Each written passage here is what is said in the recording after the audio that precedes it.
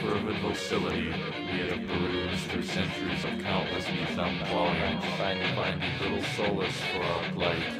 With absolute bodily quiescence we have pondered. Flowers in our pots are shattered and scattered, and hanging plants mournfully wilt and waste away. Encrusted pools once loved and cherished, fortress and shield raised in absolute defeat, pining away in curious conflagration. But this I call to and therefore uh, I have hope.